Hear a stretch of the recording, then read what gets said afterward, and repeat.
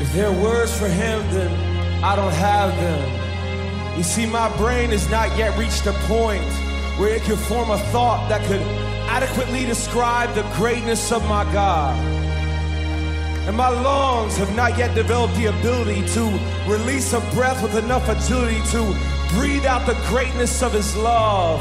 And my voice, you see, my voice is so inhibited, restrained by human limits, that it's hard to even send a praise up. You see, if there are words for Him, then I don't have them.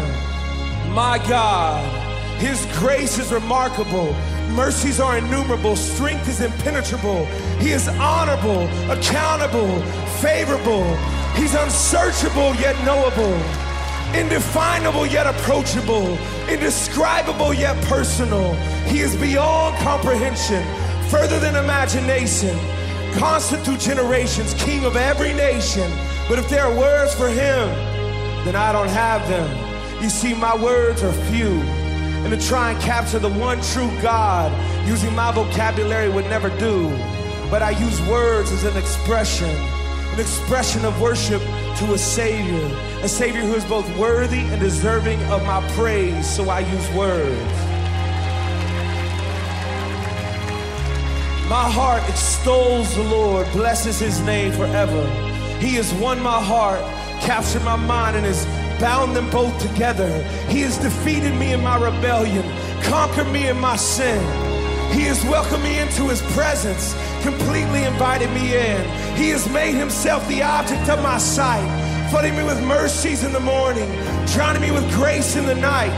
But if there are words for him, then I don't have them. But what I do have is good news.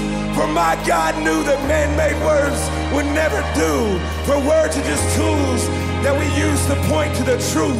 So he sent his son Jesus Christ as the word, living proof. He is the image of the invisible God, the firstborn of all creation. For by him all things were created, giving nothingness formation.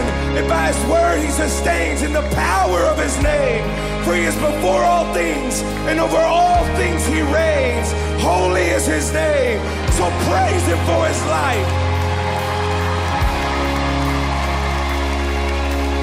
the way he persevered in strife, the humble Son of God becoming the perfect sacrifice. Praise him for his death. That he willingly stood in our place, that he lovingly endured the grave, that he battled our enemy and on the third day rose in victory.